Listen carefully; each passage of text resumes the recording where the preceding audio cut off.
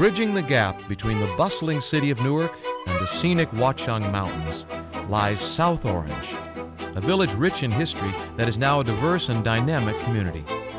Today, South Orange is renowned for Seton Hall University, dazzling architecture, gaslight adorned streets, and a vibrant downtown. One of the striking things you'll notice about this unique New Jersey community is the sheer beauty of the landscape and the parks and the mountains. Because of its distinctive style and flavor, South Orange has the appearance of a small European village carved into the mountain. South Mountain and First Mountain Lookout have served dual purposes, sometimes playing a vital role in history while also providing the simple pleasures of outdoor recreation. During the 1600s, this area was home to the Native Americans called the Munsee tribe branch of the Lenni Lenape. In 1778, it was a lookout point during the Revolutionary War that allowed George Washington to watch the British and Hessian troops assembling in Staten Island as each army prepared for the Battle of Springfield. Although this battle was a pivotal one toward the end of the war, it is often referred to as the unknown battle.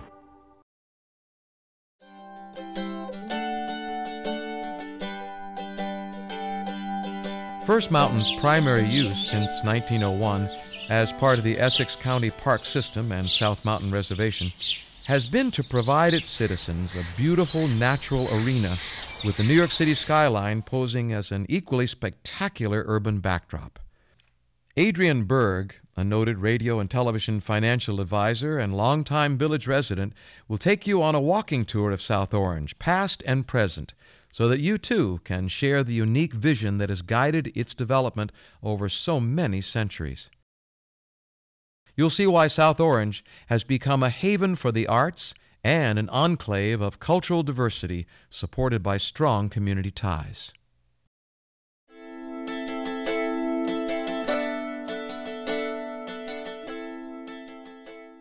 I'm here at St. Andrew's Church of the Holy Communion, built in 1870.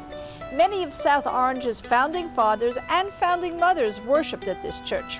And the very far-sighted Reverend Lewis Cameron donated at his death all the land necessary for a great community center to South Orange, and of course it's called after him Cameron Fields. It means that every single summer, everybody in this community can enjoy a pool and the camaraderie of each other. And we also have legendary baseball fields where legends like Babe Ruth and Lou Gehrig swung it out of the park.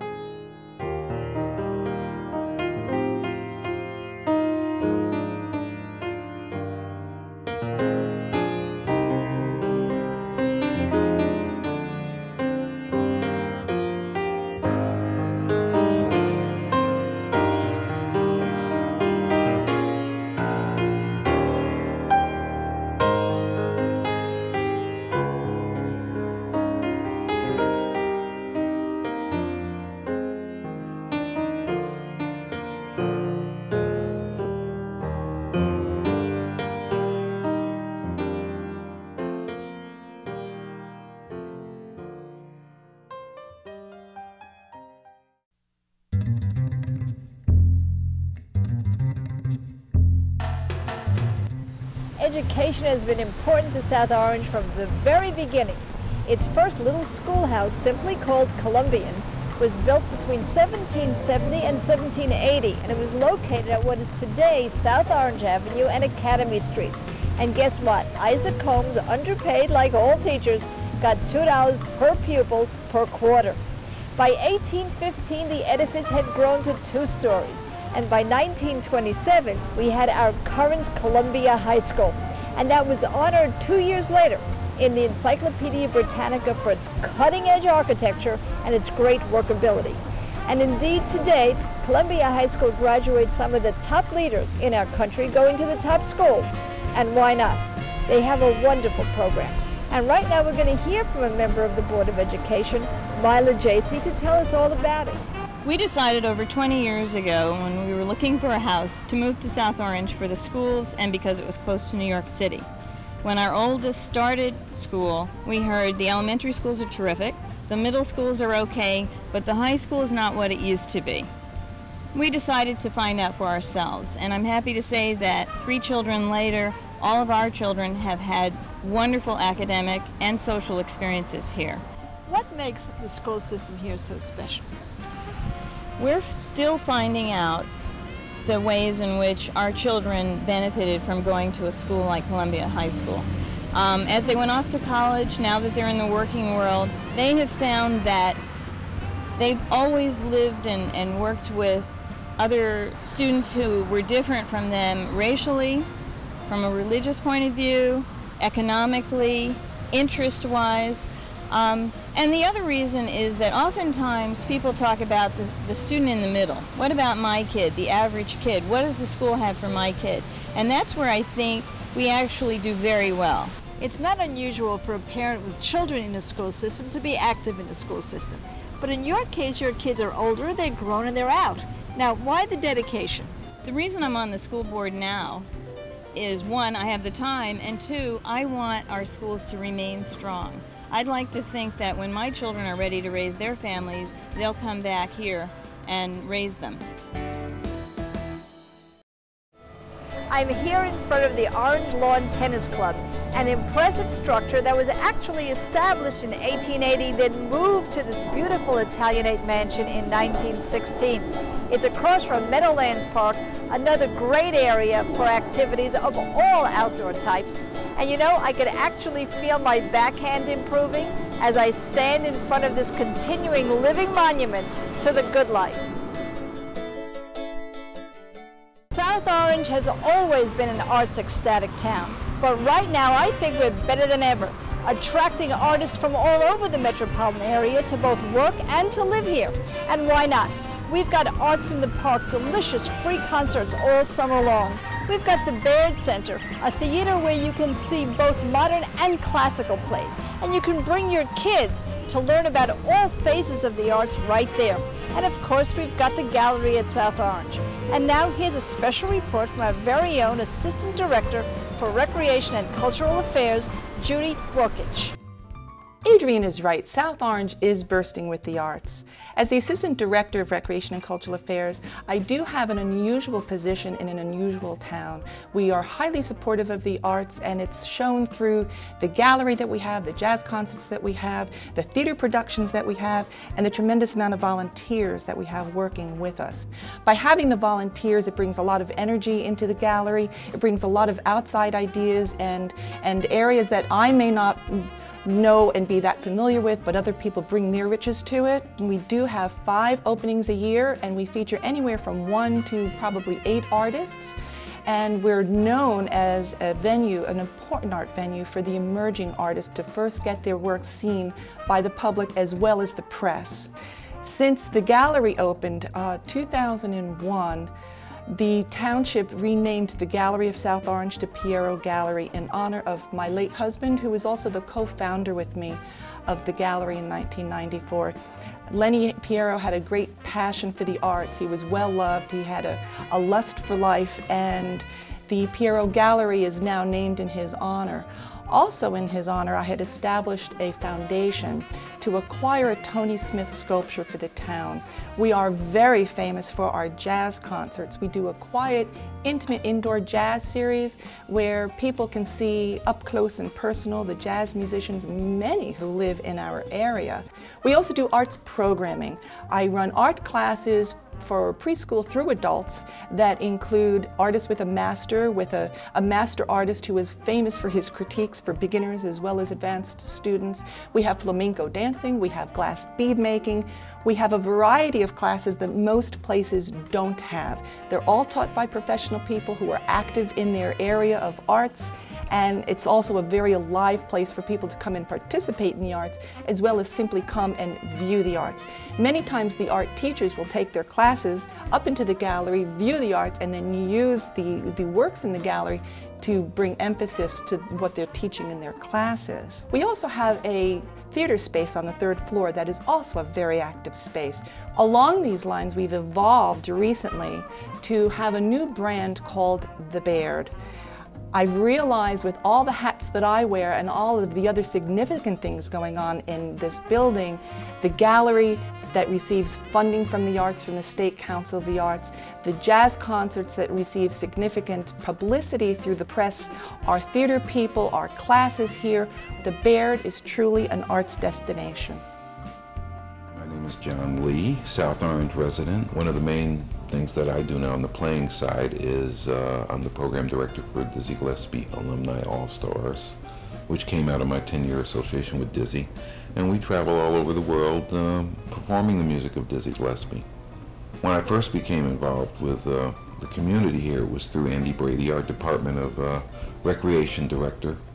And um, we decided to do an indoor jazz series at the Baird Community Center, which we started and has now become a, an institution there.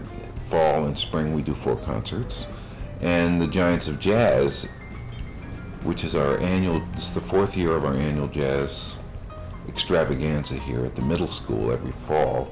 And we use the funds from that to support our summer concert series, which is free to the public every July. And the community has responded very well to it. And hopefully that will continue. Hi, I'm Andy Brady. I'm the Director of Recreation and Cultural Affairs. Standing here in front of Baird Community Center. The Baird Community Center is the recreational hub of the village of South Orange. The community center has a very interesting history. The building itself, or part of the building, was actually constructed in 1895 as a field clubhouse for the Meadowland Association Golf Club, which comprised the parks surrounding the building. In 1930, when the field club went out of existence, the building was actually used for, for, what we would construe as a settlement agency dealing with the social needs of the residents of the community. And that continued until 1955, when it was used as a private community center funded through the United Community Way. During that period of time, a lot of people in the community were instrumental in the development of that agency and its activities, and one of the most prominent was William Baird, the building is named in his remembrance for the amount of effort and time he put into securing the lands and the buildings that was a critical function of the community. In 1968, the village purchased the building and the land itself for the astronomical sum of $1 and it is the core of our recreation and cultural affairs programs from that point on. I'm T.S. Monk and uh, I live here in South Orange, and uh, I must say, one of the most fortunate things that ever happened to me in my life was moving to South Orange. Was quite frankly for myself, uh, the big caveat was moving away from New York City and moving away from the jazz community. And when I got here, I found that the jazz community was here. Uh, we have people from all over the world, and I was delighted to find the broad, absolutely broad spectrum of professionals from bankers and lawyers and doctors, policemen and firemen, and jazz musicians. I grew up in a house full of music. For those of you who don't know, my father was a fellow by the name of Thelonious Monk, one of the icons of jazz. And so I had many, many artistic opportunities from the time I opened my eyes Uh, the people that were around me were those like Charlie Parker and Miles Davis and John Coltrane. I got my first drum set from one of the all-time greats, a gentleman by the name of Max Roach. I'm delighted to be in a community that has afforded me the opportunity to give back to young children. Hi, I'm Jessica Finkelberg and I'm the Executive Director of the South Orange Performing Arts Center, affectionately known as SOPAC. It is uh, 34,000 square feet on three floors. We'll have a 415 seat live performance space and uh, we'll have a five screen Cineplex. We're also very unique. We're a public-private university partnership. Seton Hall came on board with um, some capital monies to enhance the uh, facility plans. There are a lot of people in the arts in these communities and they all have passions and interests that have really helped me shape our direction. So I'm very, very excited about that. Um, we're going to have everything from blues to bluegrass, folk to funk, everything in between. And in addition, we'll have very traditional Performing Arts Center content like um, family programming, theater, some kinds of classical music. I have a 20 member uh, volunteer board of area residents, people with both passion for the arts and a real sense of community and a real dedication to um, creating something wonderful for the entire region. Our um, wonderful downtown location, our intimate size, and the kind of programming mix that we're going to have, I think is really going to differentiate us in the marketplace and make us unique and special and something that everybody here in this entire area can be proud of.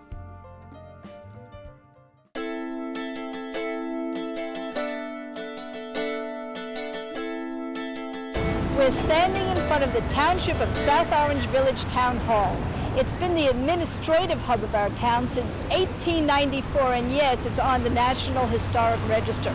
It's got many original details both inside and out, and it's had many incarnations. It was a firehouse before the fire department was moved to Sloan Street in 1930, and it was also a police station. As a firehouse, it even housed the horses that pulled the old-fashioned fire trucks. And the garages for the police cars are still there, along with a few of some very large tax checks of mine. We're soon going to go inside to see what it looks like and to speak with village president Bill Calabrese. My memories of South Orange was always something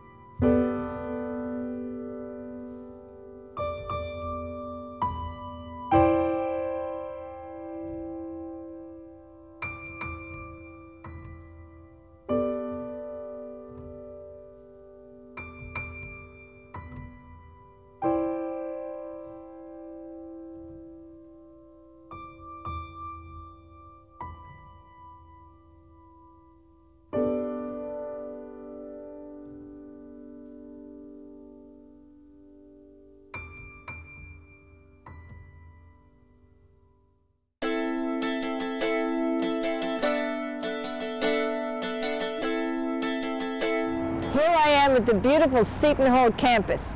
It was built in 1865 on the land of former settlers. It's still the largest Catholic university in the United States, and the campus forms a bridge between historic Montrose Park and Tuxedo Park. It's well known for its academics and its arts. But if you're a basketball fan, there's only one thing you know, go Pirates! I'm Father Jerry McCarran. I teach at Immaculate Conception Seminary at Seton Hall University. In 1856, the first Bishop of Newark, James Roosevelt Bayley, courageously founded Seton Hall University in Madison. This institution for the education of future priests and of college students, however, was moved to South Orange to be closer to the populated areas and to the cathedral in 1860 after Bishop Bayley and Father McQuaid purchased from the Elphinstone brothers a property consisting of some 60 acres for $40,000. This beautiful land in Rolling Hills was suitable for college education, and Seton Hall University continued here its tradition of educating the mind, the heart, and the spirit, to use Bishop Bayley's vision. The university has grown immensely. It now consists of nine schools, and the university now has 10,000 students and 60,000, uh, 67,000 alumni um, many of whom hold leadership positions in New Jersey. The school has a good relationship with the town of South Orange, providing some cultural and educational opportunities and receiving the support from the town as well. Um, the university seeks today to continue its growth, all the while maintaining its Catholic tradition of educating the mind, the heart, and the spirit.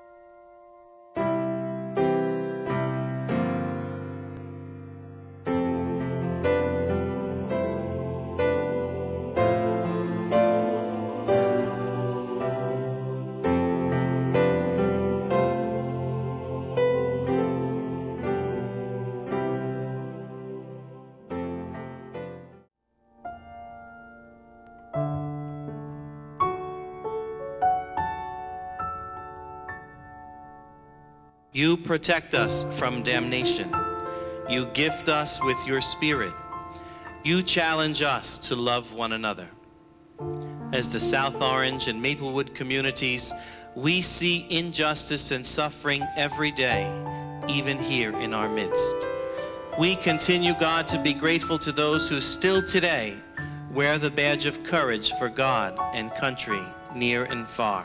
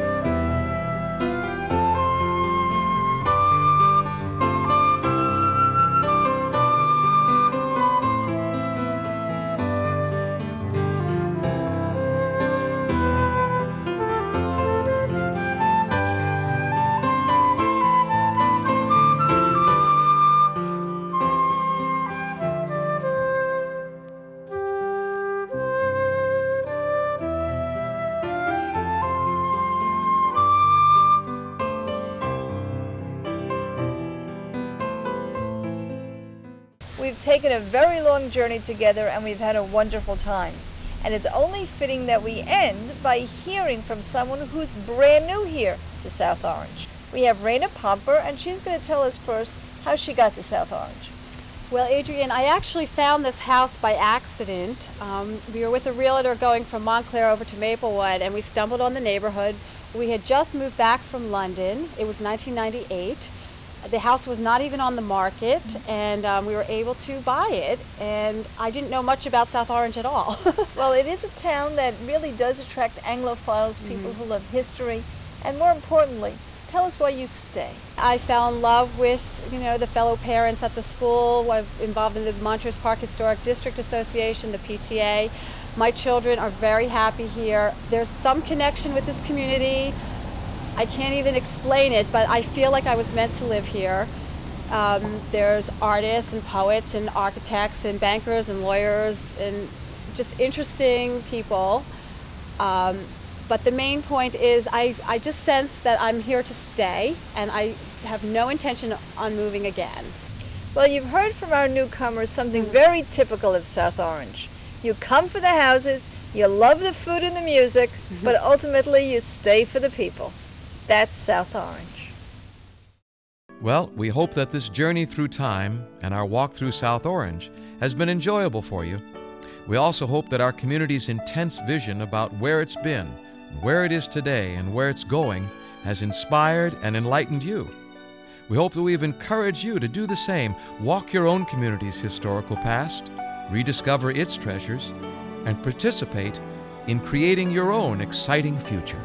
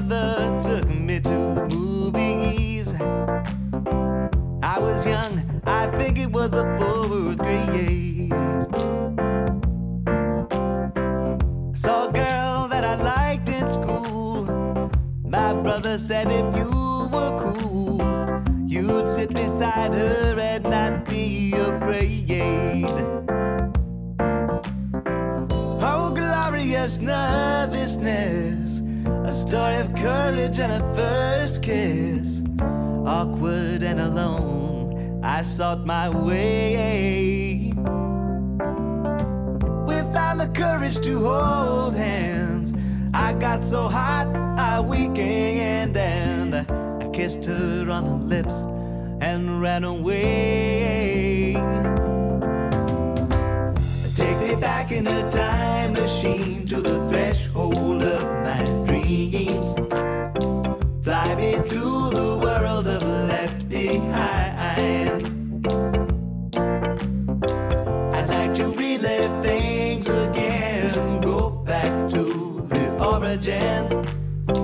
I wanna feel it all the first time.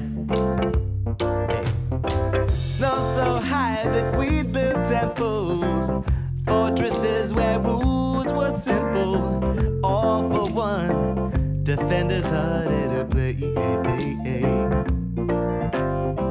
I wanna see all my old friends and recall conversations when things were so clear before they all turned to gray.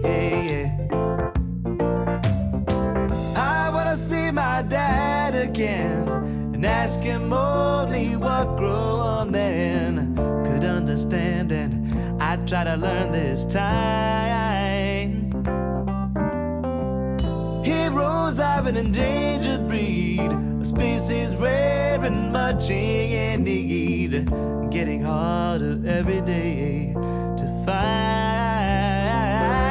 Yeah, take me back in a time machine to the threshold of. Fly me to the world of left behind. Oh, that I've left behind. I'd like to relive things again, go back to the origins. I wanna feel it